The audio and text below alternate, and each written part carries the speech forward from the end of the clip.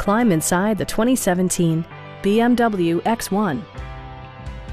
It features a front-wheel drive platform, an automatic transmission, and a 2-liter four-cylinder engine. A turbocharger is also included as an economical means of increasing performance.